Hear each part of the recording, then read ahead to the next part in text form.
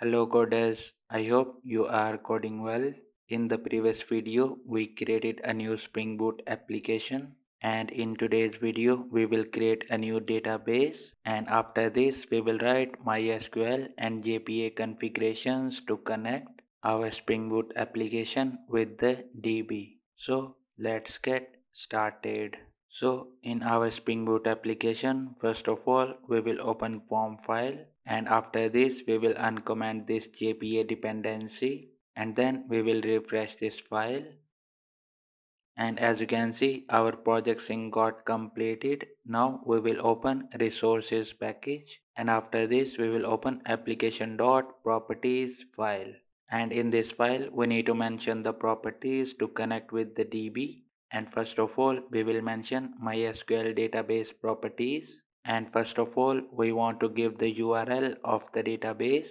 And to do this we will write spring dot data dot url is equals to. And after this for the value we will use jdbc mysql. And after this we need to give the environment. And we will give this as localhost because we will run this project on our local machine. And after this for the port we will use by default mysql port 3306 and after the port we need to mention the database name and we will give this as attendance underscore tracker. And after the database url we need to give the database username.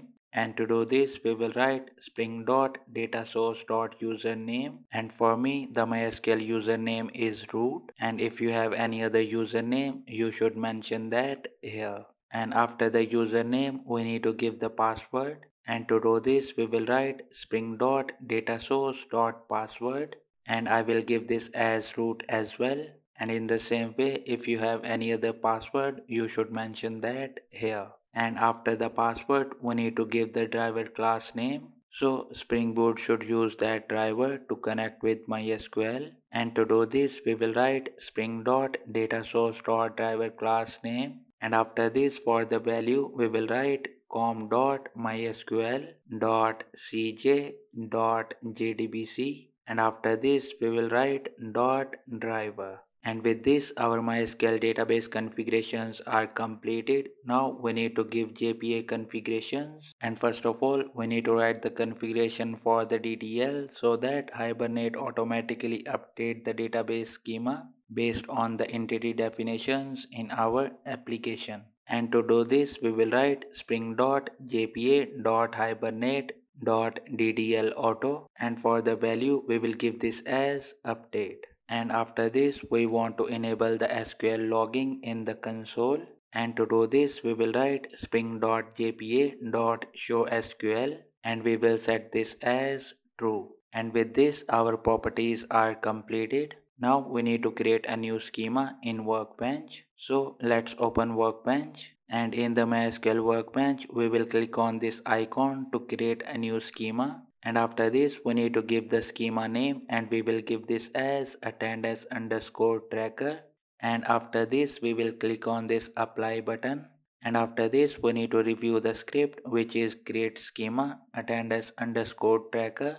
Now let's click on this apply button and as you can see we got a message. SQL script was successfully applied. And now let's click on this finish button. And as you can see we got our schema attendance underscore tracker.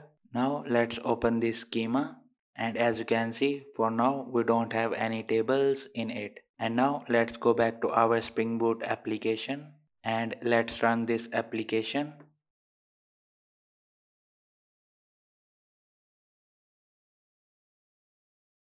and as you can see our application is up on port 8080 without any errors. And in the logs we can see the SQL connection was successful as well.